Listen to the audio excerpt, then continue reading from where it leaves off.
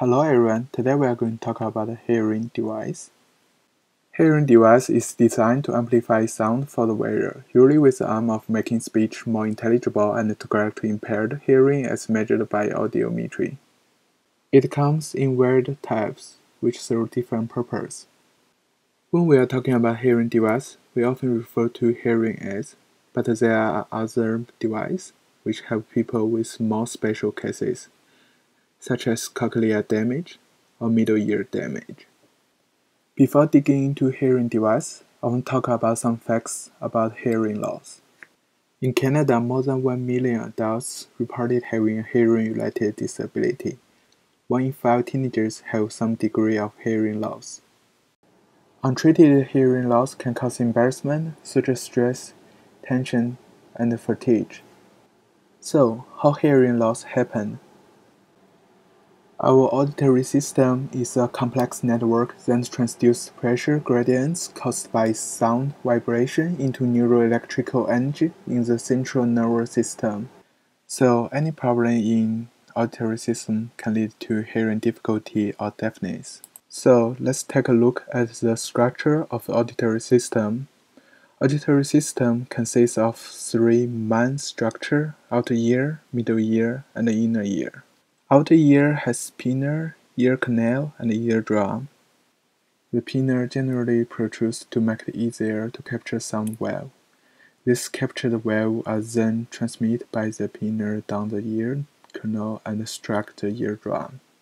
As seen in the graph, middle ear is made of three small bones, hammer, anvil, and stirrup. When the sound wave strikes the eardrum, it will generate vibration the vibration will be transmitted into inner ear by the three bones in the middle ear.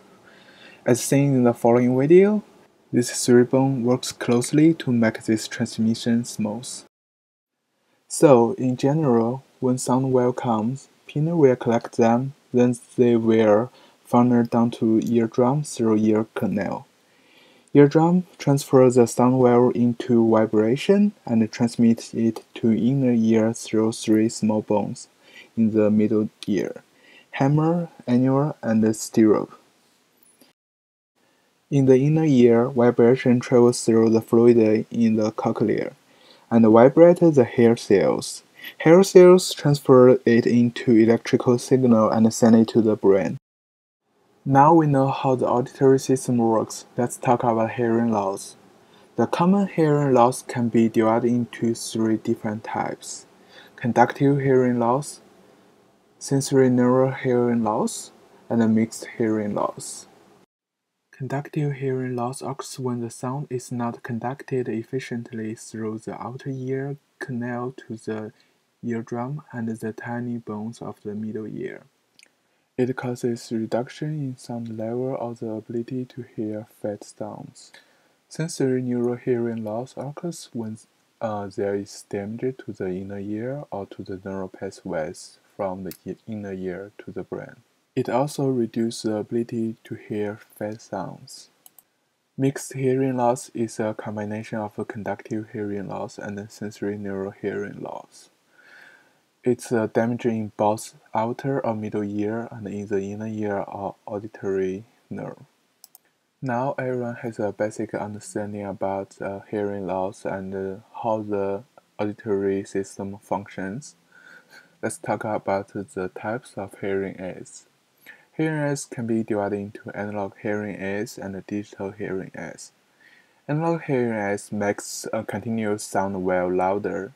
It's a program well because it has a small microchip inside so people can adjust uh, their hearing aids to uh, fit different environments. Digital hearing aid has all the features of analog hearing aids, um, but instead of uh, simply ampli amplifying the sound, it converts sound well into digital signal for further process, such as uh, noise reduction. So it has um, greater flexibility to all the hearing aids. There are three uh, different models of hearing aids in the market. As shown in the slides, there are in the canal aids, completely in the canal aids. in the ear aids and behind the ear aids. And now we have a mini behind the ears, which is much smaller than the traditional behind the ear aids.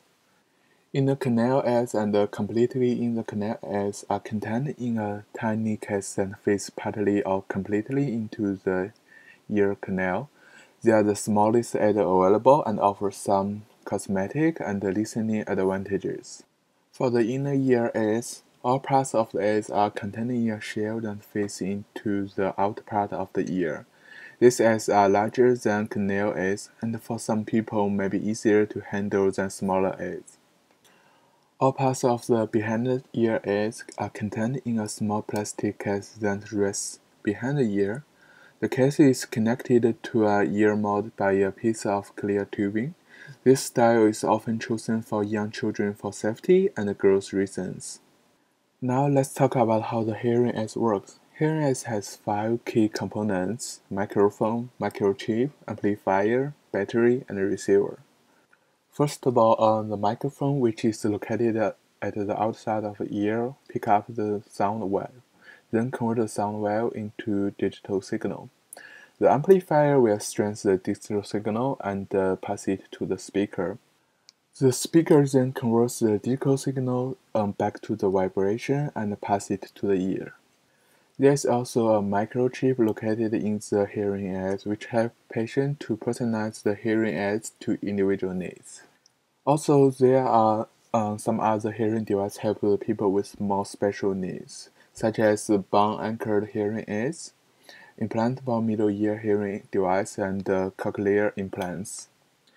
The cochlear implants provide hearing in patients that are deaf because of the damage in sensory hair cell in the cochlea. It produces useful hearing sensation by electrically stimulating nerve inside the inner ear. It contains two main components, external component and internal component. External component uh, has microphone, sound processor, and transmitter system. It receives uh, sound wave and transfer it into digital signal and process it, then translates signal into the internal components. Internal component is the implanted receiver and the electrode system. It receives the signal uh, from external components and uses signal to simulate the auditory nerve. Implantable middle ear hearing device is a small device that are typically attached to the one of the tiny bones in the middle ear. It's used for the people with uh, damage in the middle ear, which is uh, sensory nerve hearing loss.